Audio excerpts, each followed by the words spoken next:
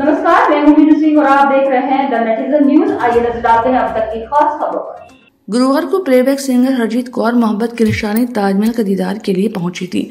उन्होंने अपने पति के साथ मोहब्बत की निशानी ताजमहल का दीदार कर, ताजमहल के भ्रमण के दौरान उनके साथ सुरक्षा कर्मी भी मौजूद रहे।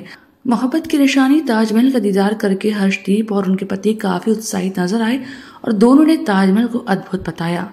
सिंगर हर्षदीप कौर ने आज अपने पति के साथ ताजमहल का दीदार किया। दोनों ने ही गाइड के माध्यम से ताजमहल के इतिहास और वास्तुकला की जानकारी ली।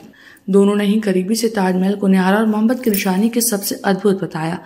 हर्षदीप कौर और उनके पति ने ताजमहल के भ्रमण के इन पलों को अपनी यादों में संजोए रखने के लिए अपने मोबाइल और कैमरे में भी कैद कराया। दोनों ने मिलकर ताजमहल के साय में कई जगह फ़ोटो खिंचवाई। उन्होंने डायना बेंच पर बैठकर फ़ोटो सेशन कराया तो साथ ही सेल्फी भी ली। बताते चले कि प्लेबैक सिंगर हर्षदीप कौर ताज महोत्सव के मंच पर प्रस्तुति देने के लिए बुधवार को शिल्पग्राम के मुक्तकाशी मंच से आई थी। उन्होंने कई बॉलीवुड और रूहानी व सूफी गीतों से समा बांधकर अपने चाहने वालों और गीतों से उनकी फरमाइश करते हुए दिखाई दिए थे। कई लोगों ने तो उनके गायन के दौरान जमकर डांस किया और तालियाँ बजाकर उनका अभिवादन भी किया था।